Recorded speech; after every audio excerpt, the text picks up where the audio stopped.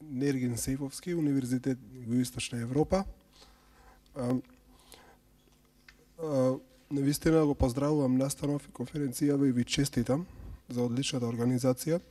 Јас немав многу време да да ја разлистам да го разлистам документот за јавна политика се со една цел за да подобро ве слушнам вашите излагања за да можам да да да ви поставам прашање. Но тоа ќе го направам дома и ќе ви ги пратам забелешките доколку ги има.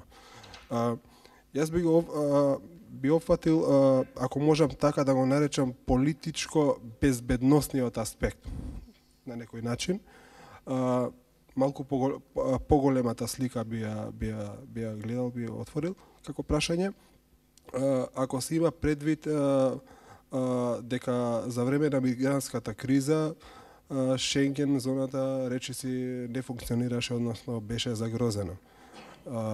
Како еве господинот Стојановски би го прашал а како гледате на ставовите на актуелното раководство политичко раководство во, во Австрија со назначувањето, односно изборот на Себастијан Курц и познавајќи ги неговите ставови за идна мигрантска и бегалска криза, тоа може да повлече драстични, односно безбедносни загразувања.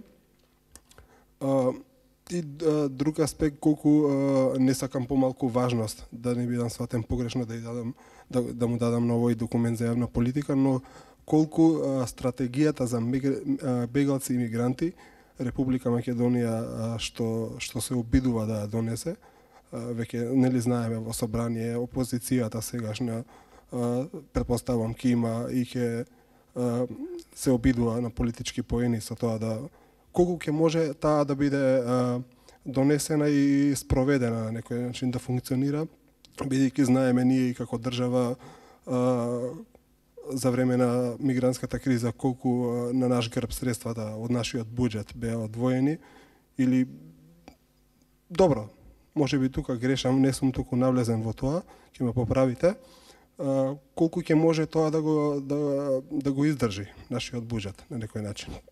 Толку благодарам.